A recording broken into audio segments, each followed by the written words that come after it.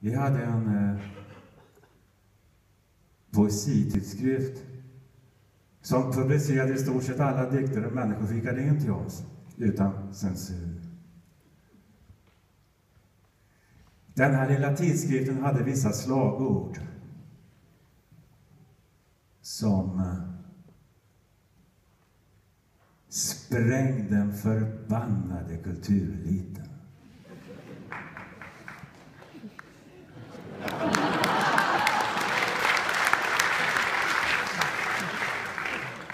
Släpp ut elefanterna, bura in borgarbrackorna.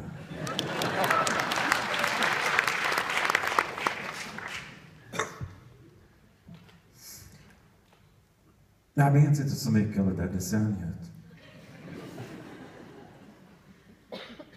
Alltså hade jag en hel del kul. De som vet de minns för mycket Man hade riktigt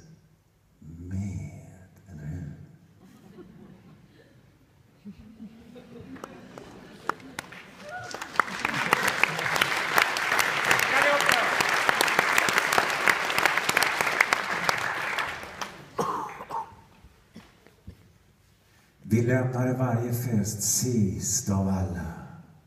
Och vi hade ingenting, bara våra unga ansikten. Världen var sjuk, sjuk och stängd sedan tusentals år. Röd neon föll som glöd, gatorna rann av svart. Och jag vet inte vad det var värt, hur mycket som finns kvar. Men det satte sig i våra kläder, satte sig i vårt hår. Och vi har inte kommit hem.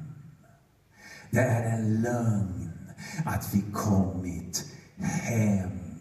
Vi kommer aldrig hem. Ingen av oss